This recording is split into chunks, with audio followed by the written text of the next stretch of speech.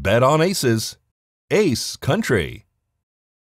Happy birthday to you. Happy birthday, dear Christine. Happy birthday to you. We're celebrating Christine Weir's birthday. And her birthday was the 11th, I believe, right? Yes, last Wednesday. How old would you have been? 34. And we've got a whole bunch of uh, Walmart associates here, family members, even her fiance. And uh, you guys decided to have this on Sunday. Why? Mm, Just more convenient for everybody to be here, timing wise. So, what did you do? Brat read three poems.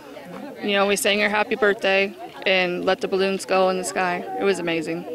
You've had another gathering here that was actually right after the accident. Tell everybody about the accident, too. Oh, Christine was killed right here. Yes, right here on the corner where all the flowers are.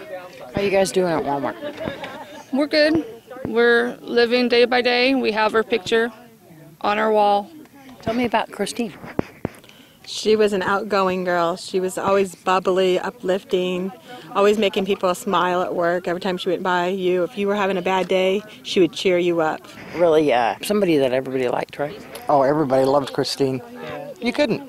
You could not love her. Yeah. Yeah, she wouldn't allow it. Her nickname was Sunshine. Sunshine. Yeah. Yeah. Yeah. She loved turtles. And orange. Yeah, Yes, and orange. Orange was her favorite color. We're seeing orange all over town, aren't we? Yes. The uh, court date's coming up. You guys going to be there? I will. Yes. So how's that going dealing with that court date?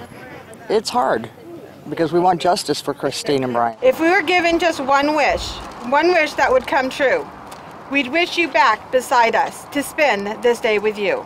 Anything else you guys want to add? Just remember, people, don't drink and drive. Yes. If you're gonna drink, leave your keys with the bartender. Drink at home. Don't get in that car.